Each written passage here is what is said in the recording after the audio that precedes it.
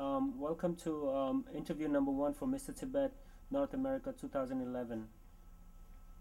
Hi, ngimi nga Jamyang Yishis, ani nga talo Mr. Tibet today place.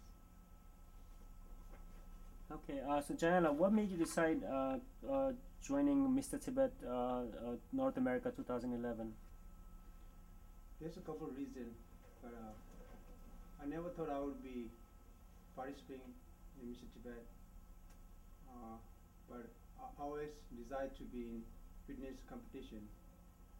Uh, last year I made myself that I want I want to be Mr. Tibet, and I made serious effort to in working out, and I want to bring it to next level.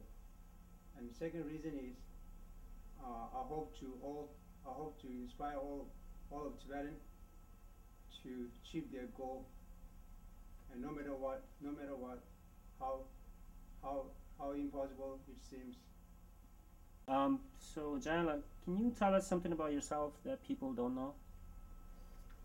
about me is uh, there's a lot of things a lot of people don't know about me but uh, I like to tell one thing and I'm good I'm very good at sh- uh, cooking and I'm good shape because uh, reason I'm good shape is I've always been myself and ever since I came to USA it's been seven to eight years and I cook myself everything I do by myself.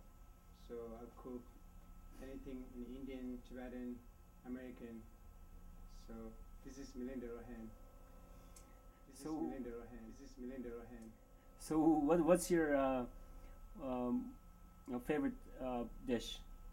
My favorite dish is Japanese, but uh, I can't cook. I always wanted to be cooked, but uh, I'm I'm working on it. Okay, uh, good luck with that. Um, Thank you. Can you tell us a, a an, an, a, funny incident that happened to you in your life?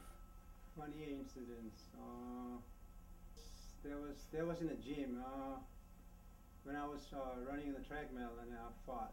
That was the funniest. Okay, so you farted on a treadmill while you were running. Well, it wasn't loud, but it's like small. I know, I know, I know how it works. Um, so, um, were there a lot of people around you when you were when you farted? You know, in the gym, you know, but uh, I have in a private gym, but since so not so many people, there's a couple of girls, you know. Let me jump to the next question. Um, tell us an embarrassing moment in your life. Embarrassing. Wow, you put me back. Uh, embarrassing.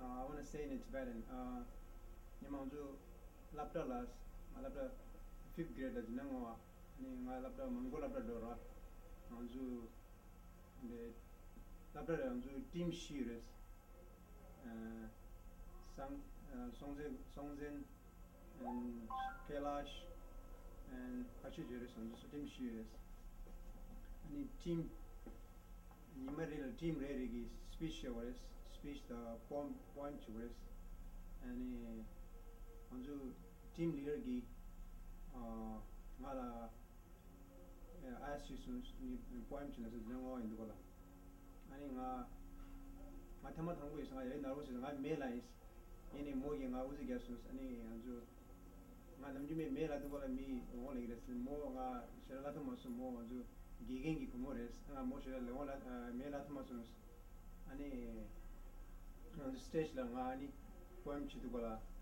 nga log du sa sa ja log du kola ani nga kangri gya sus ani nga mi ris nga ris sa mi sama kila that that was my uh, most embarrassed Okay. Um, can you tell us a moment when you felt proud to be a Tibetan?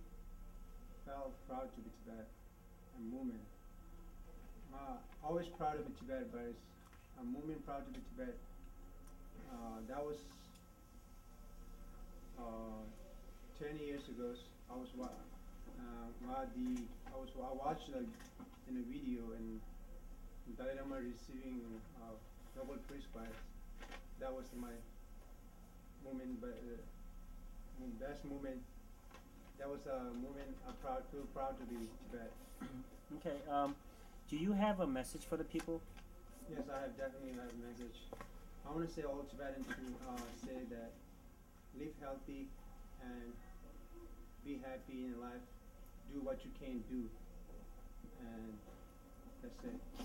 Uh, thank you so much, uh, Janela, and uh, wish you the best of luck for uh, Mr. Tibet North America 2011. Thank you, thank you for having me. Thank you very much. Thank you for watching me.